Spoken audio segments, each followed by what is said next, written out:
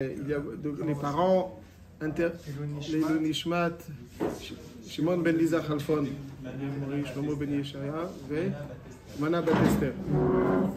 Dans des séparations donc, dans lesquelles on retrouve beaucoup l'intervention des parents dans le mariage des, enfants, tels que Abraham fait prêter serment à Eliezer, Lotika Isha Livni Bibenot Kenan, Kim El Arti Bel Moladeti Telech.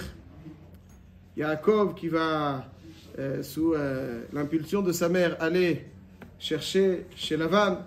Alors il y a une question euh, qui est très révélatrice d'Ilchot Kibud Avem, qui est la suivante. Imaginons qu'un jeune souhaite se marier avec une jeune fille, un jeune homme avec une jeune fille, et le père n'est pas d'accord. Lui il dit qu'il pense que cette jeune fille ne lui convient pas.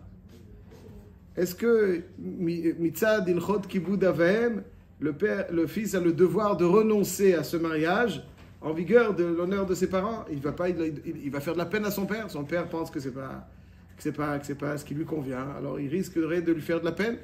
Est-ce que dans, dans qui vous avez, ceci implique aussi renoncer à un choix, une jeune fille qu'il aime, parce que ça risquerait de faire du, tsar à son père? Alors, comme on sait dans vous avez, il y a Kavod et Mora. Ce partage, il y a marqué dans la Torah, Kabed et avicha. Il y a aussi marqué Ish imo ve'aviv tiraou. Kabed et avicha. Donc dans l'ilchot kiboud, il y a marqué, on fait précéder le père à la mère. Et dans l'ilchot mora, on fait précéder la mère au père. Ish imo ve'aviv tiraou. La Gemara nous explique pourquoi est-ce que euh, on fait dans l'ilchot kiboud, on fait précéder le père avant la mère, et dans mora, on fait précéder la mère avant le père.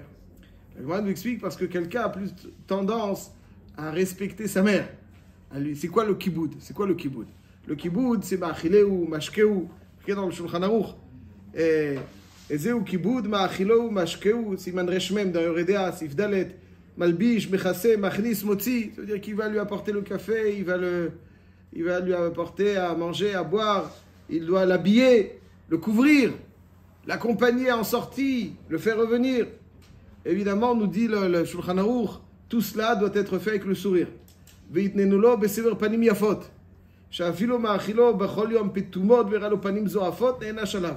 Si même s'il lui donne des oies gavées chaque jour, c'est le foie gras, et finalement il lui donne ça avec, euh, comme on dit, Mshennef, alors ça ne sert à rien. C'est Pourtant il lui donne les oies gavées. Le kibbutz, c'est lui faire plaisir. La achiloto, la shkototo, lui donner à manger, à boire, de le vêtir dans ses vieux jours, l'aider à sortir, l'aider à rentrer. Ça, c'est le kavod. C'est où Mora C'est quoi la mitzvah de Mora לא יעמוד במקומו המיוחד לו שם, לעבוד זקנים עם חבריו, או מקום מיוחד לו להתפלל, ולא ישב מקום המיוחד לו להסב בביתו, une place qui lui est réservée, qui est destinée, il n'a pas le droit de s'installer dessus. ולא סותר את דבריו, il n'a pas le droit non plus de le contredire. Ça, il faut faire attention. Des fois, on discute, Et puis on dit, mais non, et Il faut faire un effort. Faire un effort, on ne contredit pas. Alors si on n'est pas d'accord, on dit, je pense que. Mais pas, mais non, je. Bon. Alors il rajoute que même lorsqu'il y a. Même si l'enfant c'est un Talmid Chacham. Même si c'est un il a le droit de dire, je pense que, avec le respect, Mechila, je pense que. Quand il dit, mais non, il a fortiori dire, ah, arrête tes bêtises. Ou n'importe quoi. N'importe quoi. Ça, c'est. L'omachia et dvarav. C'est-à-dire quoi l'omachia et dvarav Ça veut dire que lorsqu'il y a un désaccord entre son père et quelqu'un d'autre, lui, il arrive dans la discussion, il dit, mon père, il a raison. T'as pas le droit. me dire que ton père, il a raison, t'as pas le droit. Qui tu es? Il a raison, mon père. Toi, tu es la référence suprême. Le, le père, c'est pas la référence. Toi, si tu dis tu as raison, c'est le sujet est clos. Le débat est clos. Même le lo yachia et vara. Donc, lo yikre nous bishmot. Ça, c'est mora. C'est pas le kavod, c'est lui faire plaisir. Mora, c'est respecter sous forme de crainte. Ne pas faire quelque chose qui porterait atteinte à, sa, à, son prestige. S'asseoir à sa place, c'est pas. C'est ça, c'est mora. Il y a encore d'autres halachot, mais en tout cas, voilà, ça c'est ce qui a marqué dans le Shulchan Aruch, Siman Reshmem de Yoredea. La question, donc, elle est donc, mitzad kavod et mitzad, mora. Euh, Est-ce que y a, le, père souhaite qu'il se marie avec une autre jeune fille? Il y a un din de kibbutz avem là-dessus. On a posé la question au Maharik. Maharik, c'est un des Rishonim, Maharik Colonne. Pardon? La fille aussi, la même chose. La fille avait se marier avec lui, le père il lui dit non, je veux pas que tu te maries avec, euh, avec lui, je tu te maries avec un autre. Est-ce qu'il y a kibbutz avem là-dessus? Alors on avait posé la question au Maharik. Le Maharik est catégorique, il n'y a aucun mitzvah de kibbutz avem là-dessus. Et dans ce qu'il dit le Maharik, il y a trois raisons pour lesquelles il n'y a pas de kibbutz avem là-dessus. Première raison du Maharik, il dit comme ça. Imaginons que mon père me demande, imaginons que mon père me demande de lui acheter quelque chose. Il a l'argent, mais quelque part, euh, il veut que j'utilise ma carte bleue. Alors, alors, juste je précise, avant de poursuivre. Il y en a qui diront, est-ce qu'il y a un mitzvah de kibbutz Oui ou non. Ça, c'est le- je parle du point de vue halachique pur. Mais il est fort possible, en- souvent c'est le cas, que le père a raison. Il y a deux questions, deux dossiers. Est-ce qu'il a raison ou tort? C'est un dossier. En général, il a souvent raison concernant. Ok, ça c'est pas. Nous on parle d'un point de vue halachique strict. Est-ce que est-ce que est-ce qu'il faut l'écouter? Est-ce que c'est kedaï de l'écouter ou est-ce qu'il faut l'écouter? Kedaï d'écouter, kedaï. Ah est-ce qu'il faut l'écouter Ça c'est la question. Ça c'est la question. Alors imaginons que mon père me demande d'acheter quelque chose. Bon, euh, c'est ma carte bleue. Alors, est-ce que. Alors, encore une fois, là-dessus aussi, Vadaï, qu'un enfant digne, euh, il doit, le faire. Est-ce qu'il a le devoir de l'écouter? Est-ce que Avem, c'est Michel Ben ou Michel Av?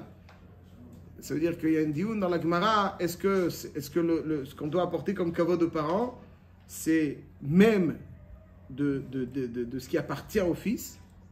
Ou bien, le kavod, c'est je t'amène, mais je ne suis pas obligé. Alors évidemment, si le père n'a rien, on ne parle pas de ça, mais il a. Mais c'est Michel Av, ça veut dire tu me demandes quelque chose, un café, je te vais te faire le café. Ça veut dire l'effort, je le fais. Mais dépenser mon argent, est-ce que ça fait partie du Kibbutz Avem? La halakha, elle est que Kibbutz Avem, c'est Michel Av, pas Michel Ben. C'est-à-dire que c'est uniquement lorsqu'il s'est- lorsqu'il appartient au père. Si ça appartient au fils, il n'y a pas le din de Kibbutz là-dessus. Pas le chiyuv de Kibbutz.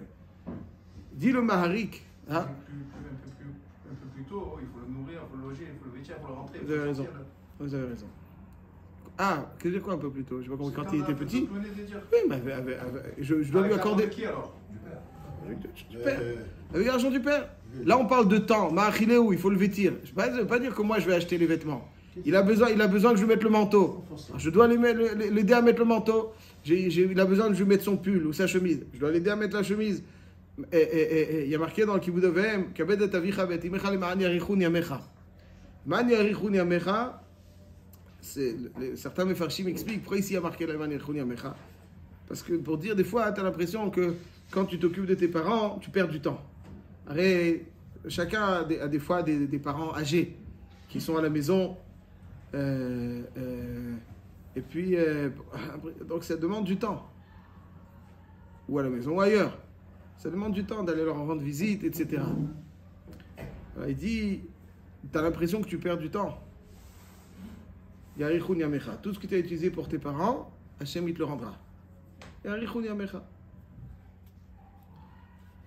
Chazonish, il allait chaque jour voir sa mère.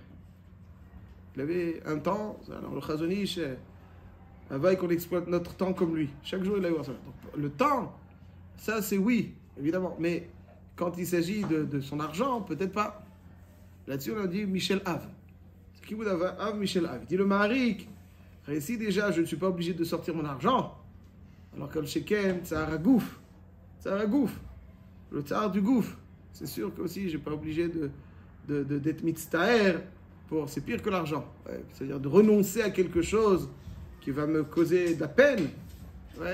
J'entends par là quelque chose, je vais vivre avec quelqu'un avec des regrets, ou, etc. C'est pas.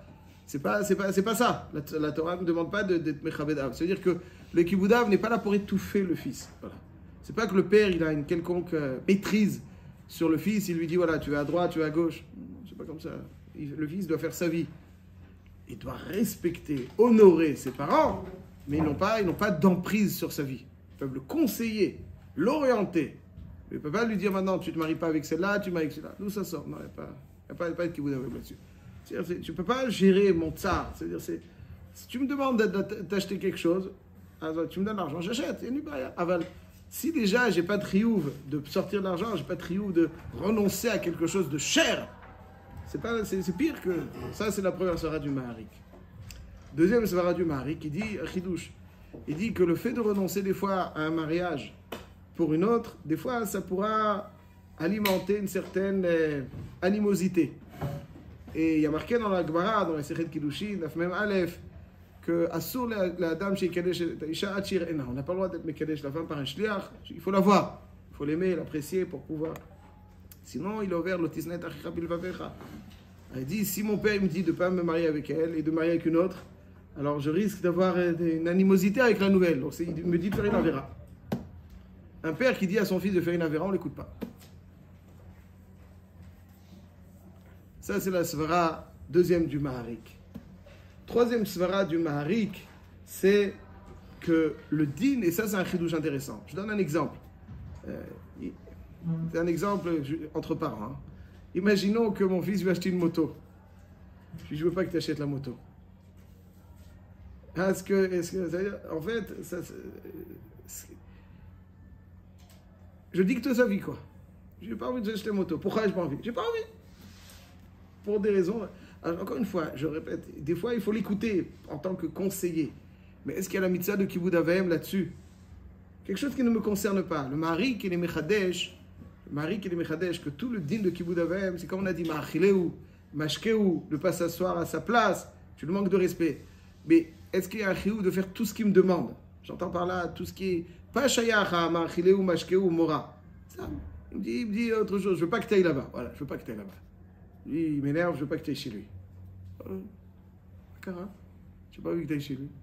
D'où tu- maîtrises, tu maîtrises ton fils, c'est ta propriété. Y a pas, tu peux pas dire à quelqu'un tu veux pas qu'il qu'il aille chez lui.